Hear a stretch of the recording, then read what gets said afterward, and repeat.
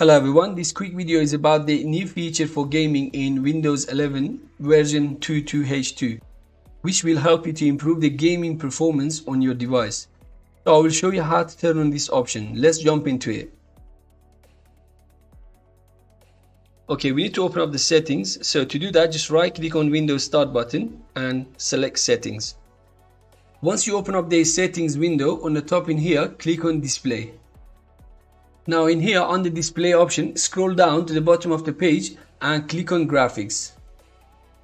On the top over here, click on change default graphics settings. So as you can see, we have this new feature in here which says optimization for Windows games and underneath it says reduce latency and use advanced features in compatible games. So we just need to turn on this option and after that restart your computer. And also if you haven't installed the Windows 11 version 22H2 on your computer, then you can watch my other video how to download and install it.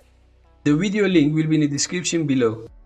Once you enable this feature, then please let me know in the comments below if it does make any difference in your gaming performance.